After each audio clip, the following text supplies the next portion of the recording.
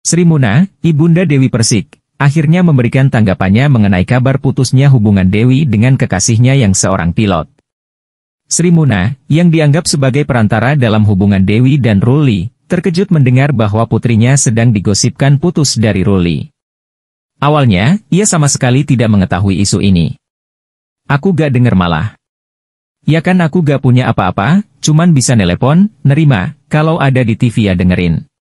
Gak tahu netizen ngomong apa, kata Sri Muna kepada Intens Investigasi, dikutip Kamis, 28 September 2023. Diakui Sri, Dewi Persik tidak pernah membagikan atau mengungkapkan masalahnya dengan Ruli. Oleh karena itu ia tidak curiga bahwa ada masalah dalam hubungan antara sang biduan dengan kekasihnya. Dia gak bilang apa-apa, gak pernah cerita apa-apa biasa aja, doanya aja, ungkap Sri Muna. Sri Muna mengaku mengetahui banyak hal tentang Ruli, termasuk jadwal penerbangannya. Namun, ia tidak selalu tahu ke mana Ruli pergi, mengingat kedatangannya yang jarang. Kabar sebelumnya menyebutkan bahwa Dewi Persik akan segera menikahi seorang pilot bernama Ruli. Namun, di tengah kebahagiaan mereka, muncul isu bahwa hubungan mereka telah berakhir. Terungkap pula bahwa Ruli marah besar dengan Dewi karena kedekatannya dengan Rian Ibram sehingga menyebabkan pasangan tersebut cekcok dan berujung pada pemblokiran telepon. Selain itu, namanya orang kasmaran tentu selalu ingin berdua terus. Hal ini juga terjadi pada Dewi Persik dan Ruli. Bahkan saking kasmarannya, Ruli bucin abis sampai ngotot video call 24 jam. Bagaimana reaksi Dewi Persik menghadapi tingkah bucin pacarnya? Hal ini terungkap saat Dewi Persik yang sedang asyik live mengungkapkan jika Ruli bersamanya. Meski sosoknya tidak di samping Dewi Persik, namun Ruli ternyata mengawasi tingkah sang kekasih via video call.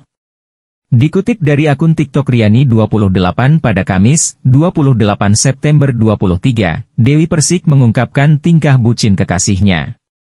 Bahkan saking bucinnya, Ruli dan Dewi Persik video callan sampai 24 jam. Dewi Persik bahkan sampai lelah menghadapi tingkah sang kekasih. Aku sampai sekarang aja masih ditungguin ya, aku gak boleh lepas dari dia. Coba video call terus 24 jam, sampai capek aku video call terus, ujar Dewi Persik. Dia bahkan menyebut hal ini dilakukan sang kekasih sebagai bukti cintanya.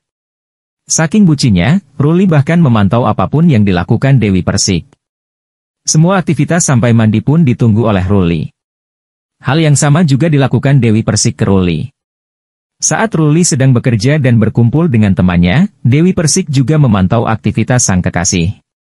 Aku mandi, aku apa pun, dia gini sama aku, dia suka nungguin aku, begitupun kalau dia lagi terbang, dia lagi teman-temannya, ya aku liatin dia juga sama, jelas Dewi Persik. Postingan tersebut pun langsung jadi sorotan, banyak netizen yang geleng kepala melihat tingkah bucin Ruli dan Dewi Persik. Tidak sedikit pula netizen yang mendoakan Ruli dan Dewi Persik segera menikah. Dewi Persik tidak terima difitnah kumpul kebo dengan Ruli. Ngaku keluarga ahli agama, Dewi Persik tidak pernah membayangkan bisa melakukan hal yang disebutkan oleh netizen. Dikutip dari akun TikTok seputar selebriti pada Sabtu, 23 September 23, Dewi Persik menyebut bahwa ibunya selalu ada di dalam rumah tersebut. Dia pun bingung kenapa banyak netizen yang memberikan fitnahan tersebut. Gosipnya dari mana gitu bisa serumah. Di rumah ada ibu aku, apa gak digor ke aku? Tiap hari ada mami aku, gimana ujar Dewi?